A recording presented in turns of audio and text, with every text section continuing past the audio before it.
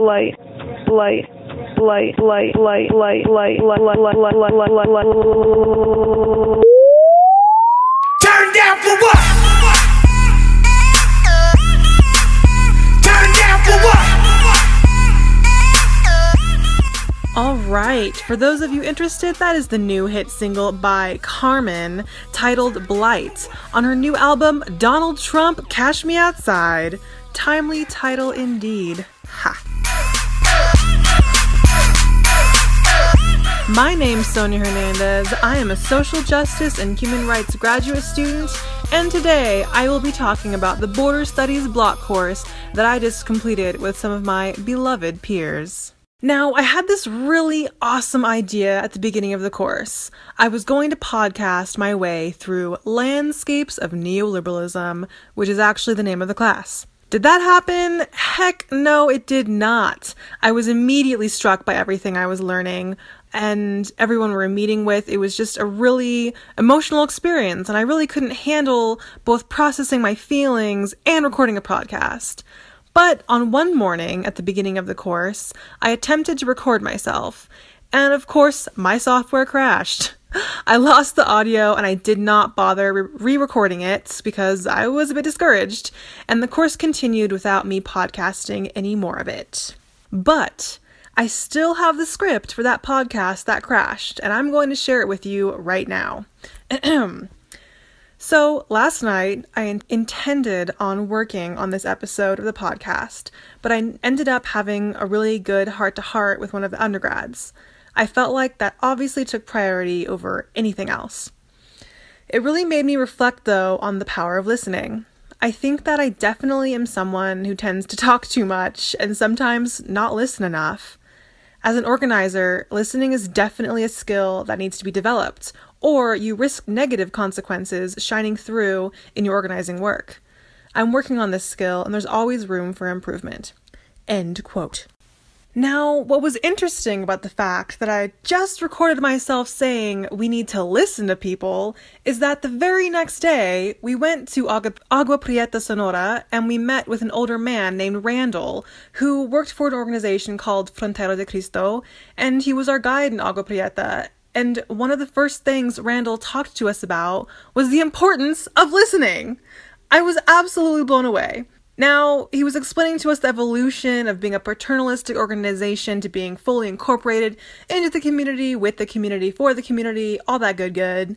But I couldn't help but think that I was a little psychic, or maybe Randall and I were cosmically connected. Was it a sign? I don't know.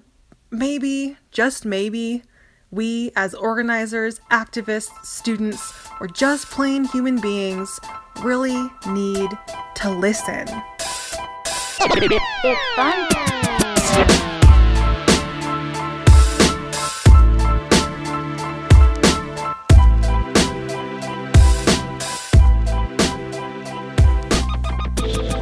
While I was reading Todd Miller's book, Border Patrol Nation, in Chapter 5, titled Unfinished Business in Indian Country, I was incredibly shocked by the ways in which the border and Border Patrol affected the native people of the Tohono O'odham Nation.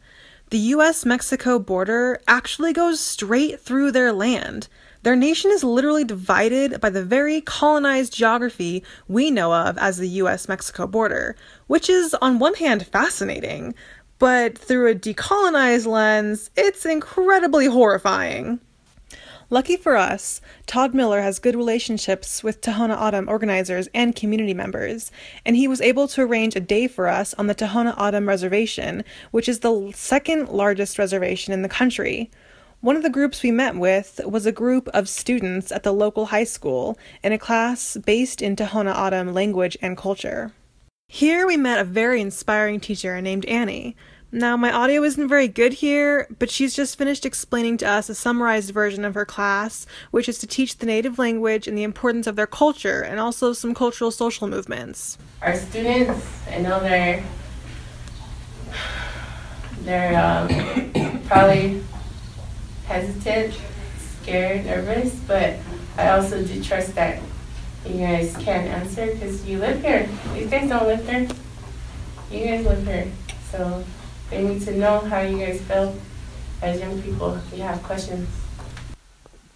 I was inspired by what Annie said. We, Prescott College students, do not live on the Tohono O'odham Nation, but they do. We were there to respectfully listen to what they had to say. So I asked how the students felt about the border being there on their land and how they felt about Border Patrol. Um, So- really, honestly, I don't really feel any way towards Border Patrol. I mean, I've never been harassed or treated any differently. Um, I'm one of the closest ones to the border, but I've never really had any problems with them. Um, me too. I personally don't have nothing against Border Patrol. I'm the second closest. In case you couldn't hear that, those two high school boys agreed that they were pretty indifferent towards Border Patrol, and they even lived right on the border. That seemed to be a common theme on that side of the room, until we got to the two girls who were sitting closer to my side of the room. Both of their families had different experiences with Border Patrol agents. And I don't like the border patrol. They, they, um, they, um, I remember my dad when I was two. And I, was only like 17 or 18. Mm-hmm. I have hard time with that still. And then I just really don't like them, but I can't judge all of them because they're not all the same. My grandmother tells me. This young girl just broke down crying and continued to tell us that a Border Patrol agent ran over her father and killed him when she was only two years old. He was only 17 or 18, she says. She later explains that the man who killed him was never charged for anything, he was only restationed. I really don't, but then I do have a problem with them because, let's see, back in 2014, they followed my uncle all the way from this side of the nation to down this way. And they said that he had some stuff, so they followed him all the way to my village, Nolik. And they, what, harassed him? So, my, he called my dad and my other uncle, and I guess they could have got killed, all of them. Because they had him at, um, they had him at gunpoint. And I know it would have been really hard for my family because we're a big family, supposedly, nation. Because what we do.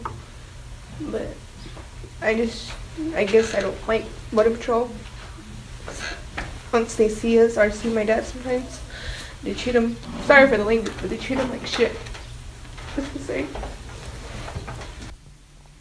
These two young girls were not the only ones we heard from that day to speak of the blatant abuse and harassment by Border Patrol on the Tohono O'odham people.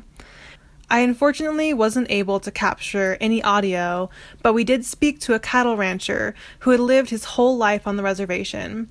He had many, many, many stories of being harassed, held at gunpoint, pepper sprayed, and even beaten over the head with a baton.